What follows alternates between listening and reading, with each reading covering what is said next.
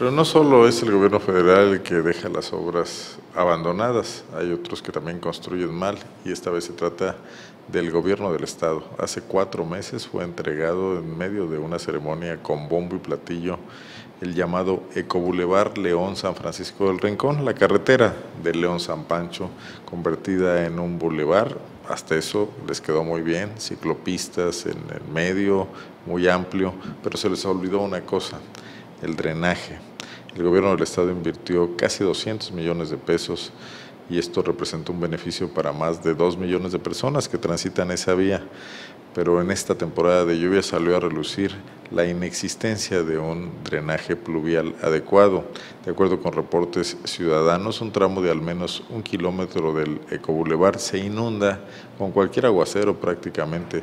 Es el que se localiza a pie de la autovía en dirección a San Francisco.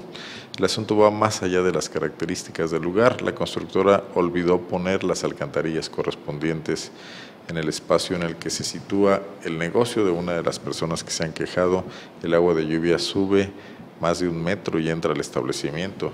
Cuando iniciaron las obras, este comerciante Isabel Solís se acercó a los encargados de las mismas, quienes le, mostraron los planos de drenaje pluvial en los cuales se contemplaba la colocación de coladeras.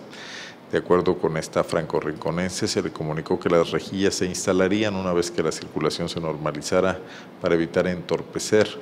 Y efectivamente, servidores públicos adscritos a esa dependencia tienen ya conocimiento del asunto. Desde la primera semana de julio se comprometieron a dar una solución, pero esta es fecha que no llega. Ayer le preguntaron al gobernador Miguel Márquez Márquez, quien se ha mostrado orgulloso de esta obra, pues le da salida y entrada entre otros al municipio del que es originario, Purísima del Rincón. Miguel Márquez Márquez admitió que hay problemas pluviales en dicho camino, sin embargo los atribuyó a las situaciones naturales del lugar y señaló que las inundaciones se presentan cuando hay lluvias intensas y el agua desciende hacia la carretera desde los cerros vecinos. Aunque Márquez atribuyó la situación de de las inundaciones a los cauces naturales del agua de lluvia, dijo que se tendrán que implementar nuevas acciones para subsanar el conflicto.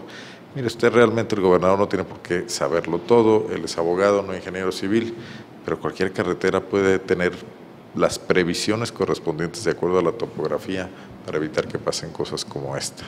Escuchemos lo que Miguel Márquez opinó ayer sobre esta obra, el Ecobulevar León San Francisco cuando hay este tipo de, de, lluvias fuertes y por otro lado, bueno, pues es claro que ahí el secretario de Obra Pública Arturo ya tiene conocimiento y se tendrá que hacer alguna obra extraordinaria que atienda a, aliviar sobre todo esta situación de carácter pluvial, pues la tendrá que hacer, ¿no? También, también lo tendrá que atender.